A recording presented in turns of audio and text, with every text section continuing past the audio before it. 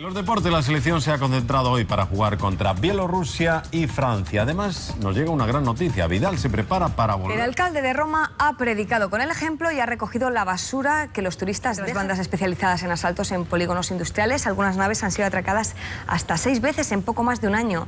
De poco sirven puertas con múltiples cerraduras o el blindaje de las instalaciones.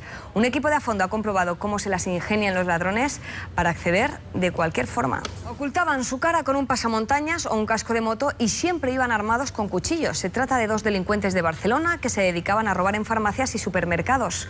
Uno de ellos ya ha sido detenido y el otro está en búsqueda y captura. En México, un grupo armado ha robado el cadáver del jefe de los Zetas. Heriberto Lezcano, conocido como el Lazca, murió en un enfrentamiento con el ejército. Las pruebas dactilares confirmaron su identidad. Lideraba uno de los cárteles de la droga más sanguinarios. Era uno de los hombres más buscados en México y Estados Unidos. José Bretón mantiene desde la cárcel su inocencia por el asesinato de sus hijos. Asegura que se han manipulado los restos óseos encontrados en la hoguera de las quemadillas. Cuatro informes forenses determinaron que esos huesos corresponden a dos niños de edades similares a las de Ruth y José.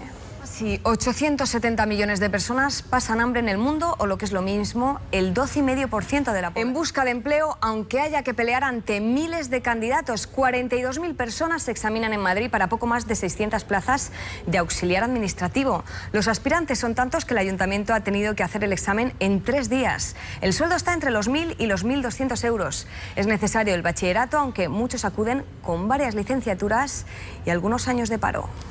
Las protestas ciudadanas han ocupado esta tarde parte del debate en el Senado. El ministro del Interior, en referencia al 25S, ha recordado que el derecho de manifestación no es ilimitado y ha anunciado reformas legales para evitar la presencia de grupos violentos.